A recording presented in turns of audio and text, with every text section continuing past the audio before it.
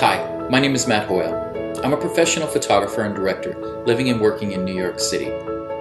For me, online video has opened up a world of possibilities to help me tell my stories and reach a larger audience. In fact, the audience is potentially as large as the internet.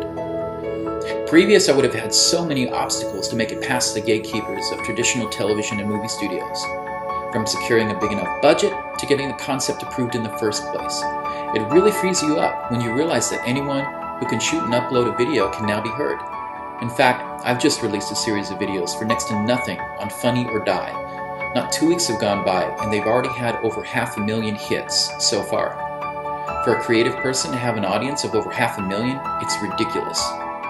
The Australian Webstream Awards will go a long way to celebrate and encourage Australia's great storytellers to share their visions to a larger audience. Good luck. I look forward to seeing the stories